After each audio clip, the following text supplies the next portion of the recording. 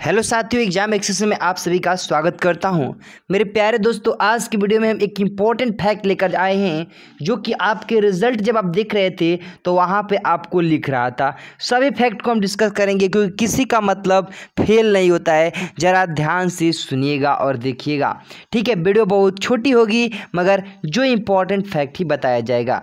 ज़रा यहाँ पर देखिए, सबसे पहले आपके सामने लिखा गया है, नवोदय विद्यालय रिज़ल्ट फेल और पास छात्र जुड़े इसका मतलब है, ये सभी sorry you are not consider for admission in a main selected list invalid combination of gradient okay और इसके साथ साथ यहाँ पे लिखा गया है congratulation you are provisionally selected for admission okay इन सब का मतलब क्या होता है? बारीकियों समझिएगा?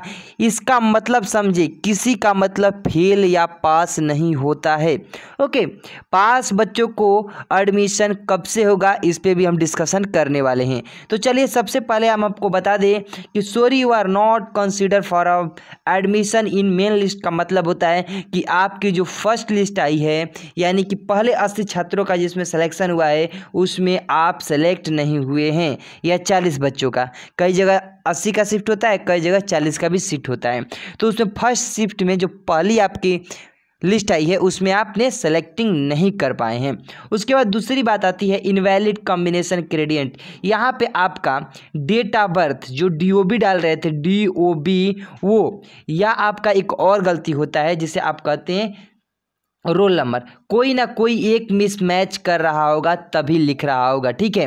एक और आप क्या रहा था? स्ट्रिंग वाला करके स्ट्रिंग वाला करके, वहाँ पे आप गलत के साथ साथ अधिक नंबर डायल कर रहे होंगे, अधिक नंबर लिख रहे होंगे, तब स्ट्रिंग लिख रहा होगा, ओके? अब बात आती है आपके सामने congratulation you are provisionally selected for admission तो इसका भी मतलब पास नहीं होता है। बस इसका मतलब ये होता है कि आप पास हैं। ठीक है, पास है, लेकिन आपका एडमिशन हंड्रेड परसेंट होगा कि नहीं, ये नहीं पता है। ये कहा गया यहाँ पे कि आपको congratulation you are provisionally selected for admission admission के लिए आप सेलेक्टेड हैं, लेकिन किसी प्रकार के आपके में कमी पाई जाती है तो आपका एडमिशन निरस्त किया जाएगा, ठीक है? अब बात आती है, पास बच्चों का एडमिशन कब से होगा? सबसे पहले आप सभी को ग्यारह से लेकर पंद्रह के बीच में आप सभी का स्कूल से फ़ोन आएगा कि आप अपने विद्यालय में आइए, या एक कॉल लेटर आता है, ठीक है तो हो सकता है मे भी आपके पास कॉल लेटर पहुँचे, लेकिन कॉल लेटर पिछले बार से ही हटा दिया गया है, ठीक है?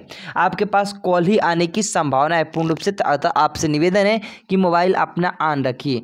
चलिए, हम और एक बात कर लेते हैं वेटिंग लिस्ट के बारे में, ठीक है? वेटिंग लिस्ट की समस्या बहुत सारे बच्चों को है तो वेटिंग लिस्ट आपका अक्टूबर के फ़र्स्ट वीक में देखने को मिल सकता है, ठीक? अब किसी को किसी प्रकार की समस्या, बात पड़ती है डॉक्यूमेंट से रिलेटेड तो हम आपको बता दें कि एक डॉक्यूमेंट की वीडियो आएगी कितने बजे? वो आए आएगी आपके सामने छः बज के तीस मिनट पे आज पीएम में। ओके तो सभी पास और फेल बच्चे इस वीडियो को देख लेना, क्योंकि फेल बच्चों के लिए भी इंपॉर्टेंट है। हो सकता है कि वेटिंग लिस्ट में आए तो पास हो जाएँगे। तीसरी पॉइंट आपके सामने आती है कि रूरल के लिए और अर्बन के लिए। तो वीडियो का लिंक डिस्क्रिप्शन में है। डॉक्यूमेंट अगर तेज़ी आपको तो उसका भी लिंक डिस्क्रिप्शन में है। दोस्तों, मैं उम्मीद करता हूँ कि हर एक पॉइंट को आप समझ चुके होंगे।